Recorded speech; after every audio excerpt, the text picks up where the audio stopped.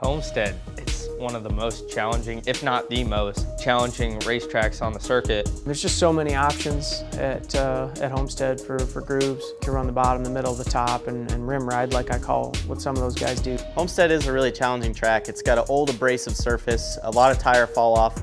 Uh, what that does is that really spreads the groove out, makes you move around right up by the fence, which I think is awesome. I have a lot of fun racing Homestead. Uh, it's got short track, um, dirt track type racing.